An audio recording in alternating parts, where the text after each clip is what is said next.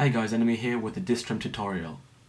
So as you may know, I've recently released a plugin which uh, will help you reduce your After Effects um, distortion, warp, whatever you want to call it. And this is the official tutorial for it. In this tutorial I will be showing you how to fix a few things if they're not working, how to um, be able to use the plugin. I will show you completely everything about, which is kind of like about using it. And I will also um, tell you something else in the beginning. So first of all, I would like to thank everybody that commented under the official promo.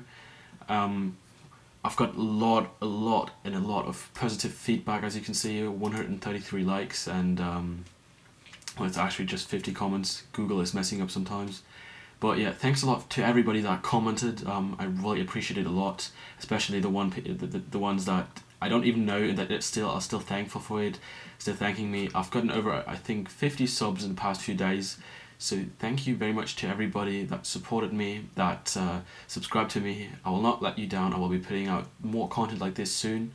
But there's one thing I would like to say, which is not so good, is that um, if you take a closer look, it's 100, 133 likes. Um, I mentioned in the uh, description that I would like everybody to like and comment on it if possible. I've gotten 55 likes so far and 133 comments. Now let's just head over to Mediafire to show you how many times it has been downloaded. It's been downloaded over 170 times. This ratio here refreshes every 6 hours, so it's probably been downloaded by 180 people so far. Now if you compare this, there's 50 people who didn't even give a fucking crap about it, who didn't comment nor like it. And um, there's basically been 120 people who didn't feel the need to even say thank you in the comments which I kind of think is really sad. Um, but it's it's gotten better. The last thing I gave away for free was a very very small editing pack. It's gotten 21 likes, 16 comments. Now check this. 130 downloads. Are you fucking me? Like seriously. I'm giving something up for free and you guys, like some of you guys, I'm not saying that everybody doesn't, I'm really, I really appreciate the ones that are actually commenting on it and are grateful for it. But the ones that are not commenting on it, not not feeling the need to even say thank you for something that somebody else put hours in, is just being rude, to be honestly. Because um, that is what is gonna make me remove the download link for this sooner or later, or that that is pretty much what is gonna keep editors from uploading that stuff. So if you want us, the editors, to continue giving out stuff for free to you guys, then you should better be thankful, like and comment on the video, and uh, maybe even share it. I would also like to say thank you to everybody who uploaded the promo video. You will be getting the color correction 7 days after you've uploaded the promo. Um, I'm just doing this so that nobody really uploads the promo and then asks me for a CC. So yeah, now let's head over to the um, After Effects, to After Effects. I've got a clip loaded in here and now I will show you how to apply the actual plugin. Now first of all if you um, download the plugin you will get a zip file in it with a readme file and a, the, the plugin itself which is an FFX file. Just to everybody that is using Sony Vegas, it's not going to work with it. Why? Because FFX files are just meant to be opened in After Effects. They're After Effects presets files. Why I'm not doing a version for Sony Vegas or why doesn't that work for Sony Vegas? Simply because Sony Vegas is dumb. Sony Vegas doesn't even support code implementation such as Java or any other language and it's basically useless if you want to do automated things in it. So just forget about that. So yeah, as you can see here I've got the clip imported. Um, what I'm going to do now is I'm going to go to apply animation effect, uh, animation preset under the animation tab. I'm going to check where my um, plugin is. It's in here. That is the folder that you download when you want to upload the promo. And this is the one that you download when you want to download the plugin. So just click on apply, open, and now we've opened that up. Some people might get an error message when opening this up saying something that the slider can't be found or something similar in a different language. I will show you guys how to fix that if you get that error. So first of all, as you can see here, there's a couple of different options that we have here we have um, for the Twix effect, we have the 59.94 FPS smoothness and the 29.97 FPS smoothness, and the recommended amount of RSMB, which will be automatically calculated. So, as you've probably seen in the promo, my what my add-on kind of does is um, it actually removes the frames that don't have to be um, interpolated. um, you just have to up, up, uh, output uh, 30 FPS for YouTube. So my script automatically removes frames that are kind of unnecessary. Not the frames from the original clip, but frames that are being interpolated but don't really need to be in there. These are basically the ones that are causing the main warp. And that is why this program actually works wonders, this plugin. So as you can see here, we have the Twixtor. Now, uh, just uh, for your information, um, you just if I was you, I would just keep those settings in here because the, these are the ones that I actually use. They give me very good Twixtor actually. And to sync it, you actually can't use the frame tab in here. You'll just have to stick with the speed because that is what the um, plugin is dependent on. It's parented to that speed. So yeah, what you want to do is you want to go down here and uh, just sync your clip as usually, as you would do usually. Let's say we go from this to that, just showing you something very basic. And then we go to around 30. So as you can see here, in the first step here, it's moving very, very like in, in a normal way. As you can see here, we have no distortion, although I'm going below 100, which normally causes it to automatically do uh, distortion. And this was just some errors, like uh, if that, that, has nothing to do with the clip, it's just uh, something weird with my After Effects. Um, but yeah, as soon as we go below 90, or yeah, like um, below um, 63, it starts interpolating the frames. That means it starts causing distortion. As you can see over here. This is just a tiny bit of distortion, and when there's motion in the picture, like when there's uh, frames uh, behind each other, you're not even going to see this. You really won't, especially if you put on some, some RSMB. So yeah, now how do we actually control this? As you can see here, we have the speed set to 57. We want to remove all of the frames that we don't need for the output on YouTube. That means that we can remove half of the frames since all we need to output is 30 FPS and we have a clip that is 60 FPS. So if we take the if we take the speed to 57, it means that we are actually um, just bringing out 75% of what we could bring out in total as the frames and the rest is just going to be interpolated. To change that, um, I have created this uh, 59.94 FPS smoothness slider. What this basically does is actually allows you to set um, the speed, like it, it kind of allows you to um, control how to, uh, like what kind of percentage it should start warping frames. As you can see here right now, we are on the same frame and it's not warpy. Like there's no distortion if we are over 50. So that means that this slider is the lower level for your um, for your speed. So if let's say if you're going to do a rap edit, I would set this to 50 because rap edits don't need to be 100% smooth. But if you're going for a D&B edit, I would set it to at least 65, if not even 74 or 75 because that is, a, is going to make your picture look very smooth. Now, the reason why I'm making this dependent on rap edits, for example, is because on rap edits you, lose, you use a lot of RSMB, and the more RSMB you use, the more the um, image will actually be uh, compensated, the missing frames, because it'll look like it'll create new frames with the RSMB.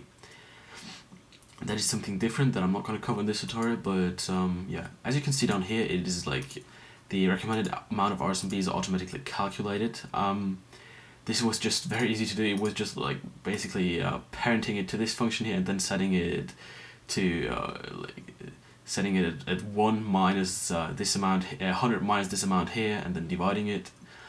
So yeah, this is basically just um, dependent on this function here, but it can really help you because, um, for example, if we set it to 75, which we would normally, if we set this here to 75, which we would use for D&B, it automatically sets it to 0.25, which, which is kind of like the perfect value for D&B um, edits, just from a personal experience. And if you set it to 0.5, if you set it to 50, it'll be at 0.5, which is kind of very good for rap edits. Maybe a bit, a little bit lower, maybe like 0.34, 0.35 or 0.4.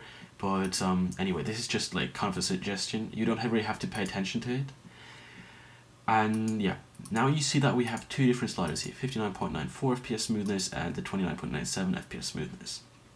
Basically, you don't have to uh, use this uh, lower one if you're if your clip is 59.94 fps. So anyway, um, if you are going to change this value up here, you have to type it with a comma and not a dot because a dot will actually just uh, drag it to a thousand.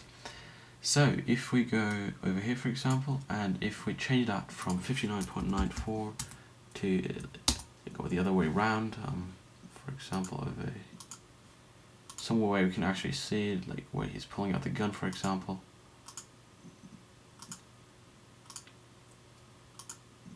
Yeah for example here. If we set that to 29.97 you can see the difference. You don't have that many frames anymore and it's just going to be warpy now I don't recommend editing 29.97 clips anyway but if you have to edit them you can still use that plugin I would recommend um, setting this uh, 29.97 FPS slider to about 80 because um, you will really have to use a lot of um, you will have to use a lot of uh, distortion. You're not going to get get around it because um, the clips just don't have enough frames per second, which is really gay in my opinion. But that's just how it is. So if if I set this to um, 80 for example, I'm just going to delete that keyframe over here just to show you the effect. If I set that that set set that here to 80, and if I go um, if I set this here higher then it'll automatically do it'll automatically if I set this here yeah to for example that it will automatically uh, distort images start distorting them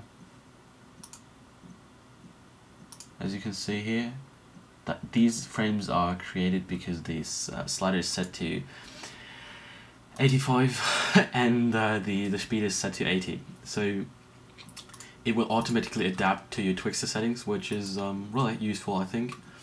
So it doesn't matter what if you're going to change this slider here at all. Um, it, it is not being used anymore.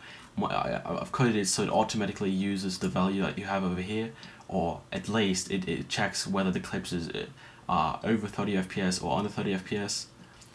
So yeah, as I've already said, the uh, recommended amount of RSMB is automatically calculated. And yeah that's just about it I think. Um, now I'm getting over to the part where I'm going to explain to you what might happen um, if you are not installing it correctly if you're not using the plugin correctly so first of all you want to go to your After Effects application. Now I need to close this here first. I'm not going to change save this.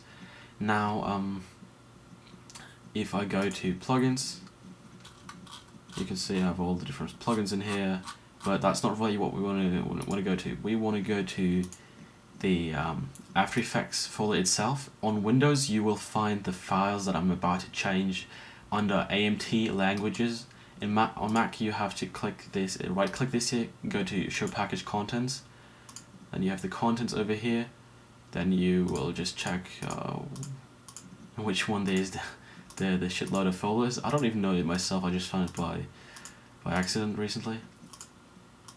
Yeah, under the resources uh, folder. So in here you have the AMT languages folder, which is basically um, setting the languages um, in your After Effects. So you are very likely to get an error in case you have a file in here that is, for example, Czech or Russian or German or a different language than English, US, and if you have a language in here for example like uh, uh, I don't know like just a different language like this one here for example. What you want to do um, with it is um, you want to change the name first of all. You want to change that to en underscore us you just have to write it exactly as shown over here. Then you're going to open it using text edit uh, editor whatever you want to want to use.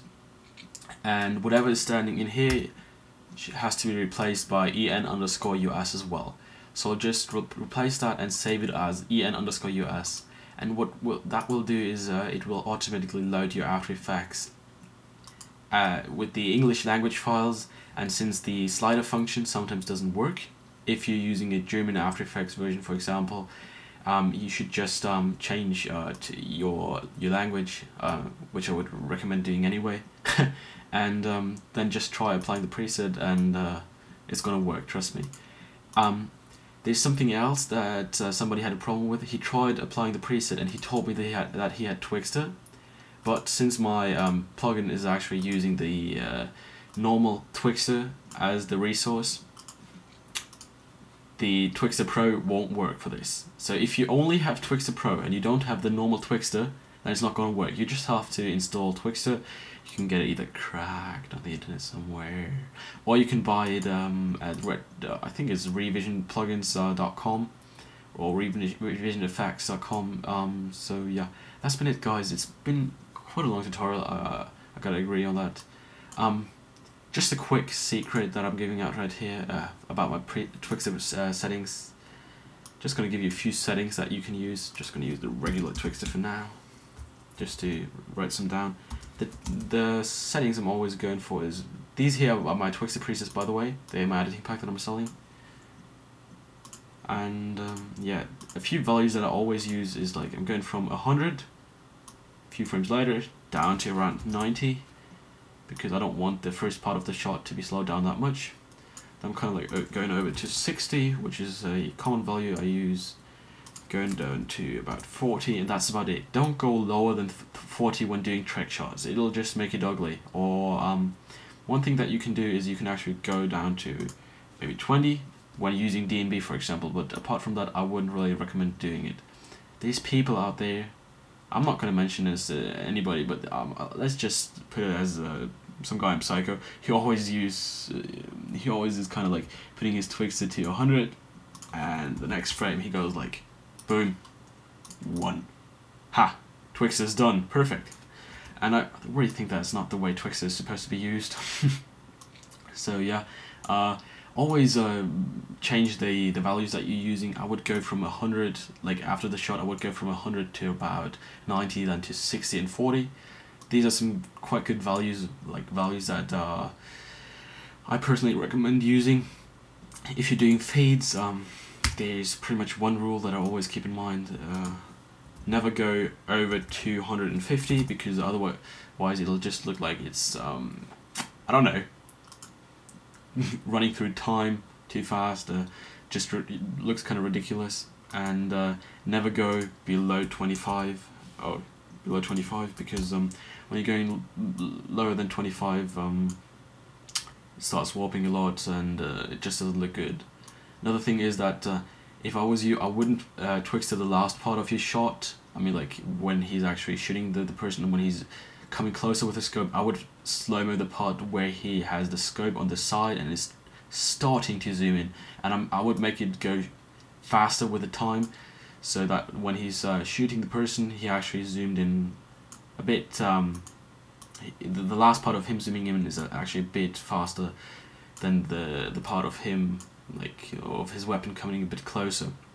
Just giving you those uh, tips. Those are just my personal, uh, yeah, I could I could say I think experiences that I made with Twixtor. Really think it's kind of strange that people still sometimes do like Twixtor from 100 to to one. Uh, personally think it looks ugly. Well, it does look good in some uh, hardcore edits and rock edits, but most of the time it just looks gay, especially when editing trick shots. So yeah, that's really been it guys. Um, voice crack. Thanks for watching and um, maybe check out the promo and leave a comment like as well as on this tutorial. Thanks.